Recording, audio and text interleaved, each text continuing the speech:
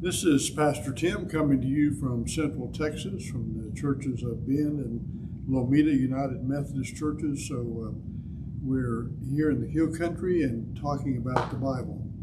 We have uh, had several series of, of, the great themes of the Bible, and then we did what the books of the Bible were. Now we're talking about stories of the Bible. And one of the uh, great things about the, our Christian, Jewish Christian history is that it's full of stories. Uh, it's not so much a book of theology or a book of history as a book of stories to relate to how God relates to us. Uh, so it's great to hear the stories. And we're, we're talking about uh, Jacob and Esau today. Uh, Jacob and Esau were in that long line of, uh, of uh, the chosen people.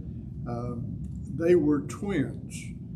when they were born, uh, they lived up to their namesake.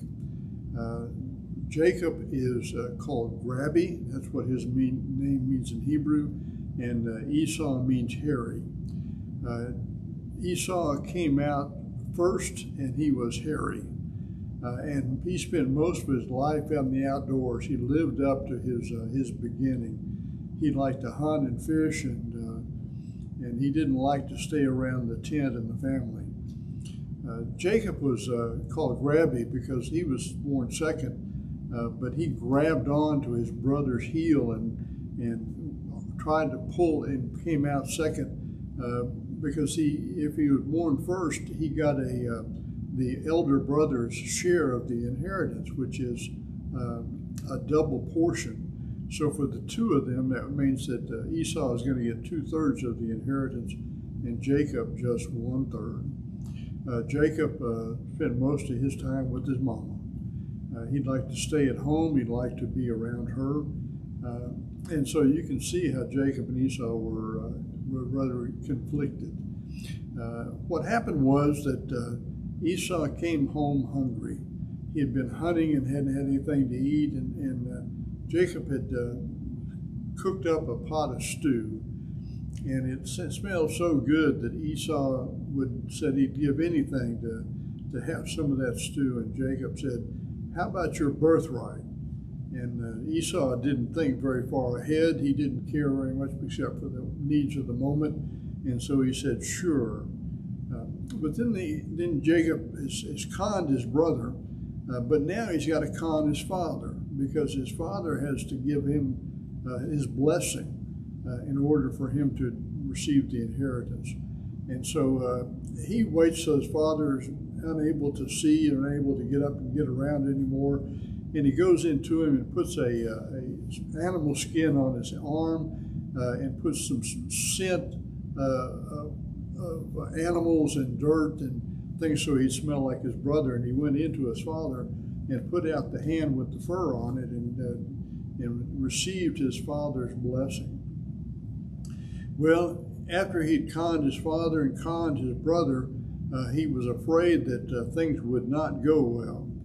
Uh, so he took off running. Uh, so God's going to use Jacob. Uh, God's going to come to him in ways that he doesn't even know. Um, and he he will struggle himself uh, in being conned. Um, he goes and he meets with his uh, some family. Uh, he goes to where run away from his his, uh, his home uh, and meets uh, uh, Rachel and Leah.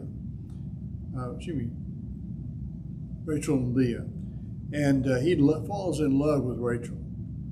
he wants to marry her, and so his future father-in-law Laban says, uh, Well, you can marry her if you will work for seven years uh, to, uh, to get that blessing. And so he uh, worked for seven years, and then the day of the wedding comes. And uh, the father has, has fooled him because Leah is the oldest and should get married first. And so he puts a bridal veil on her and goes through the ceremony and he discovers that he married Leah, uh, who he didn't want.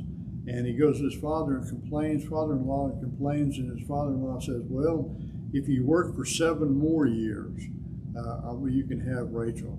So he decided there's nothing he can do, but he works for seven more years. And so the con man gets conned. Uh, and that's how he ends up with Leah and Rachel as his wives. You have to remember that in the biblical times they had multiple wives was not uh, not uncommon, uh, especially when men were short. They're short of men. Uh, they would marry, marry multiple wives in order to continue the tribe, to to continue the nation. Uh, so the con man gets conned. He uh, gets his comeuppance. Uh, but there's going to be redemption. Uh, so we're going to see that in the second half of the story. Uh, see you next time.